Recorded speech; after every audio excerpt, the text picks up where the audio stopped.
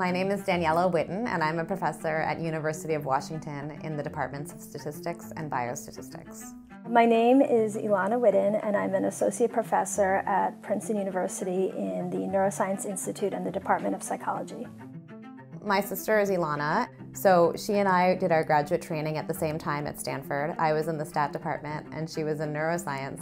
And it became very clear that she had a skill set that would be extremely useful if applied to systems neuroscience. At the same time, she, much like other statisticians, were applying their skills primarily to genomics research and ver knew very little about systems neuroscience and what they could use their skills for in that field.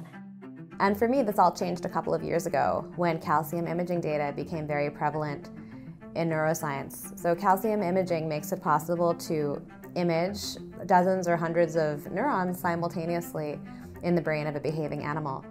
But because this technology is new, statistical methods to make sense of this data really haven't been developed yet.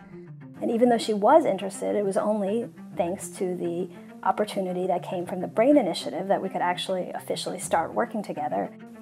So we envision two types of outcomes from this grant.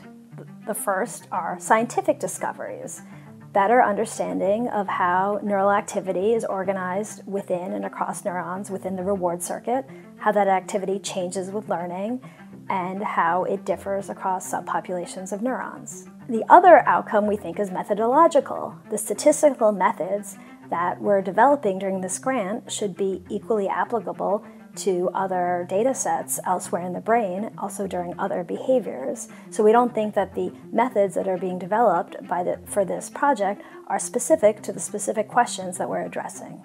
I'm a newcomer to the field of computational neuroscience, so I was a little bit nervous that maybe the review panel um, would think that I'm a statistician who doesn't know enough neuroscience to get funding from the BRAIN Initiative. And instead, what I got was a bunch of reviewers who were just really excited to see new perspectives and a new set of ideas, and it was just wonderful to get these actually really heartening reviews that showed a welcoming community.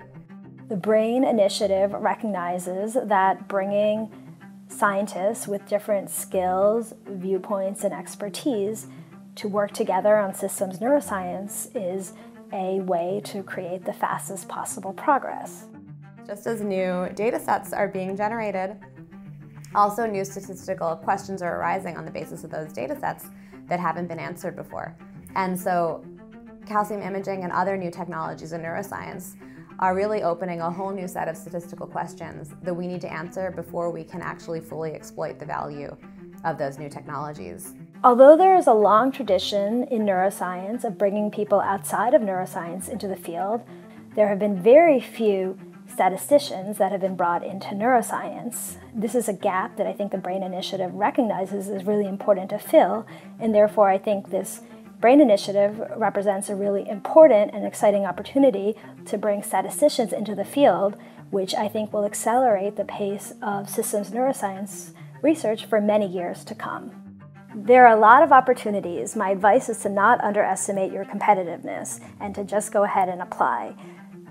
We were on the fence about applying because we hadn't collaborated officially before, and Daniela was relatively new to neuroscience, but we decided to go ahead and submit an application and it was funded on our first try and now we are being trusted with this new project which is really exciting. So my advice is go ahead and apply